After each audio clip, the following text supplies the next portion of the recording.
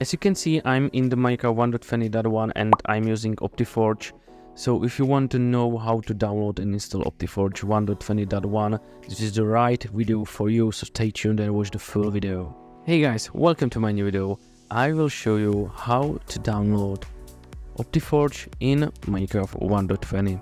So we should get right into that right now.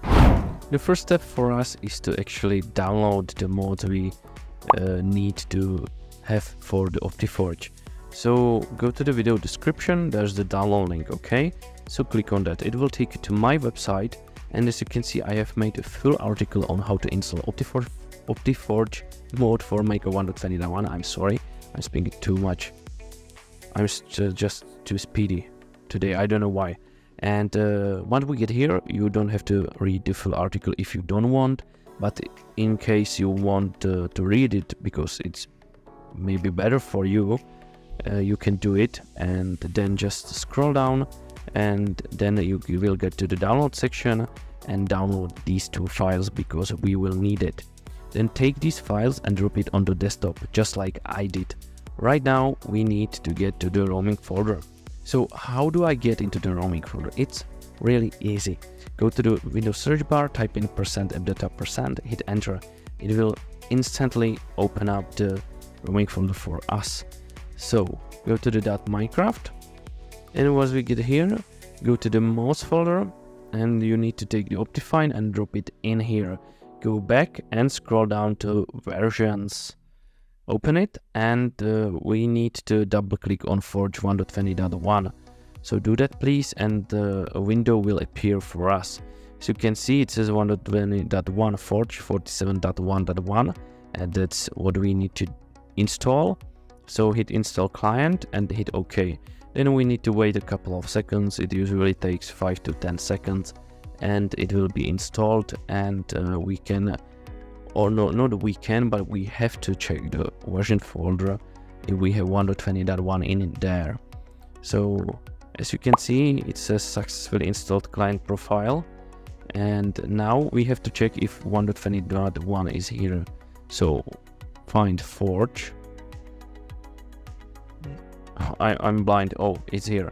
So 1.20.1 Forge is here. In case you don't have it in here, you need to reinstall everything.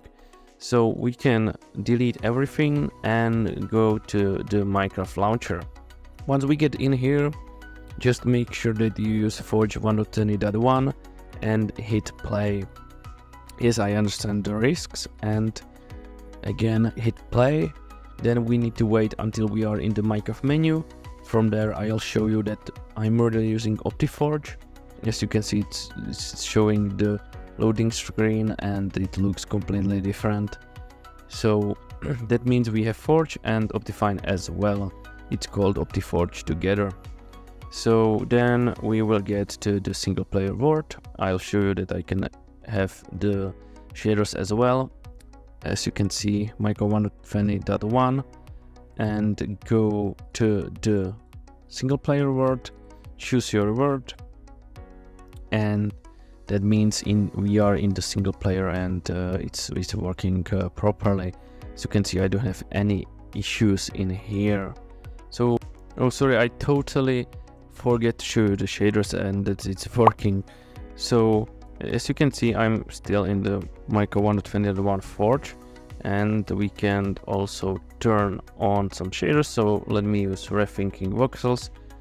Uh, yes, it will uh, look weird because I have already said goodbye to you and then I for, uh, forgot about the shaders and stuff like that. So it will look just weird. Don't mind it please in the edit.